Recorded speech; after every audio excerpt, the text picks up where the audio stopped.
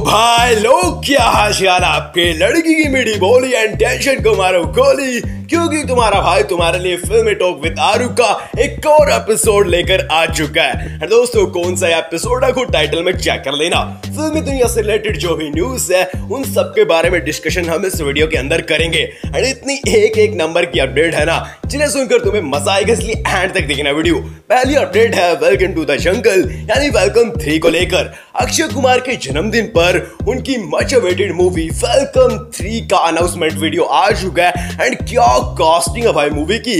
Hera Pheri three Golmaal, Munna Bhai MBBS इन सब movies की casting ले रखी है। इतने लेजेंडरी एक्टर ले रखे हैं ना भाई साहब। एंड आज के जमाने के भी एक्टर ले रखे हैं। बहुत ही थर्ड एक्सपेरिमेंट किया भाई, बहुत ही सही। मगर अहमद खान इस मूवी को डायरेक्ट करने वाले हैं, जिन्होंने चूतियापंथी टू बनाई थी। थोड़ा डर लग रहा है, मगर इतने बड़े बड़े एक्टर है लेजेंडरी एक्टर है तो डर थोड़ा कम हो जाता है। देखो यार, मैं तो इस मूवी के लिए बहुत ही ज़्यादा एक्साइटेड हूँ। आप कितने एक्साइटेड हो, हमें कमेंट में ज़रूर बताइएगा। अगली अपडेट है रणवीर कपूर एंड संदीप रेड्डी वेंगा की मच अवेटेड मूवी एनिमल के बारे में। दोस्तों एनिमल मूवी के लिए भी हम बहुत ही एक्साइटेड है, क्योंकि संदीप रेड्डी वेंगा ने बोला है कि असली वायलेंस तो दुनिया को इसी मूवी के ज़रिए दिखाने वाले हैं। असली खून खराबा तो इसी मूवी में होगा। अच्छी बात यह है कि 28 सितंबर को रणवीर कपूर का जन्मदिन आने वाला है एंड उनके जन्मदिन के दिन ही एनिमल का टीजर रिलीज़ किया जाएगा। इसका जो प्री टीजर था, वो तो काफ़ी ज़्यादा कमाल का था। और देखते हैं टीजर कैसा होगा। उम्मीद करते हैं अच्छा ही होगा भाई। कुछ मूवी ऐसी होती है जिनकी हाइप बनानी पड़ती है मगर कुछ मूवीज़ की हाइप अपने आप बन जाती है। आप एनिमल को ही ले लो भाई। लोग एक झलक के लिए तरस रहे हैं। ये है भाई क्रेज दोस्तों, अगली अपडेट रणवीर कपूर की ही मूवी ब्रह्मास्त्र टू को लेकर है। दोस्तों ब्रह्मास्त्र टू की शूटिंग जल्द ही शुरू हो जाएगी। अभी तो आयान मुखर्जी फोर टू की शूटिंग में थोड़ा बिज़ी है। उसका काम खत्म करती वो ब्रह्मास्त्र टू पर लग जाएँगे। 2025 में शायद हमें ब्रह्मास्त्र 2 देखने को मिल जाएगी।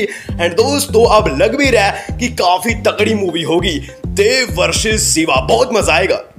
अगली अपडेट है थलपति विजय सर की अपकमिंग मूवी लियो को लेकर। दोस्तों, लियो ने भी हिस्ट्री क्रिएट कर दी है। जी हाँ लियो मूवी की एडवांस बुकिंग यूएसए के अंदर ओपन हुई थी और दोस्तों 24 घंटे के अंदर ही इस मूवी ने टिकटें भेजकर करीबन एक करोड़ का कलेक्शन कर लिया है। जी हाँ किसी भी मूवी ने ऐसा नहीं किया था। ये एक रिकॉर्ड है दोस्तों।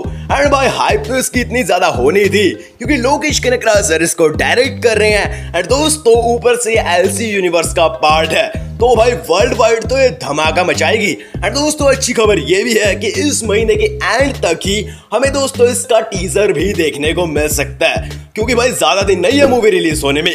अगली अपडेट है डायरेक्टर एटली कुमार को लेकर। भाई, जवान कितने धुएँ उठा रही है तुम्हें पता ही होगा। दो तीन दिन के अंदर ही बॉक्स ऑफ़िस फाड़ दिया, हिला दिया भाई साहब। इसको एटली ने ही डायरेक्ट किया है। एंड अब हर कोई सोच रहा है कि एटली का नेक्स्ट प्रोजेक्ट किसके साथ होगा।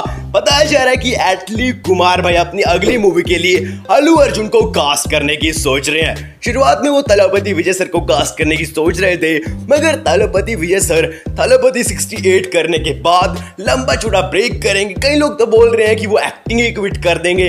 इसलिए वो अल्लू अर्जुन की तरफ़ ध्यान लगा रहे हैं। मगर अल्लू अर्जुन भी कहाँ फ्री है?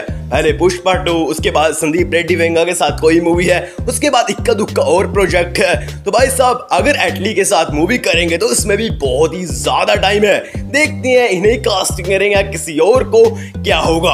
अगली अपडेट है द वैक्सीन वॉर मूवी को लेकर। विवेक अग्निहोत्री की इस मूवी का ऑफिशियली पोस्टर आ चुका है एंड पोस्टर काफ़ी ज़्यादा सही है। दोस्तों, शुरुआत में जब इसको सलार के साथ क्लैश करने के लिए बताया जा रहा था तो हर किसी बंदे ने इसको ट्रोल किया, क्योंकि भाई सलार के साथ इसको क्लैश लेकिन सलार पोस्टपोन हो चुकी है, इसकी निकल पड़ी है। पिछली मूवी विवेक अग्निहोत्री की सही रही थी एंड अगर इसके कंटेंट में दम रहा तो ये भी अच्छा खासा कलेक्शन कर लेगी। बाकी नाना पाटेकर जैसे एक्टर है यार। अब सलार की बात चली रही है तो सलार की मेकर्स ने अभी तक कोई ऑफिशियली अनाउंसमेंट नहीं की है मूवी की नई रिलीज़ को लेकर। पोस्टपोन हो चुकी है तो पक्का है। और बाकी मूवीज़ के मेकर सोच रहे हैं कि सलार कब होगी, ताकि हम मूवी को इधर उधर कर सके। कई लोग कह रहे हैं कि टाइगर थ्री के साथ इसका क्लैश होगा तो टाइगर थ्री तो नहीं हटेगी। बाकी कोई हटो, कोई नहीं हटो।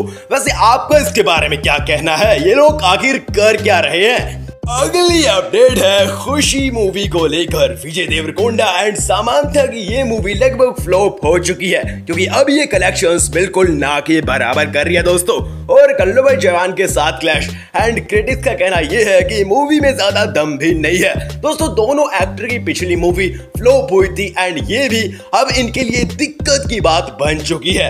एंड दोस्तों, अगली अपडेट विजय देवरकोंडा एंड संदीप रेड्डी वांगा को लेकर है। दोस्तों, इन दोनों की एक मूवी आई थी अर्जुन रेड्डी जिसका रीमेक बना था भाई कबीर सिंह। जी हाँ एंड मूवी ने काफ़ी ज़्यादा मतलब धूम मचाई थी एंड मूवी भी काफ़ी ज़्यादा बढ़िया थी। बताया जा रहा है कि दोनों के कोलैबोरेशन में एक और मूवी हमें देखने को मिल जाएगी। एंड भाई, देवरकोंडा को अब हिट की ज़रूरत है। हो सकता है इनके कारण इनके करियर को थोड़ा और बूस्ट मिल जाए। बाकी देखते हैं मूवी कब आएगी। तो दोस्तों, आज की वीडियो में बस इतना ही। उम्मीद करते हैं वीडियो देखकर आपको मज़ा आएगा। एंड दोस्तों, एक सीक्रेट की बात भी मैं आपको बताना चाहता हूँ। लाइक करोगे, मज़ा आएगा। सब्सक्राइब करोगे तो भी मज़ा आएगा इसलिए एक मज़ा लेकर देखो।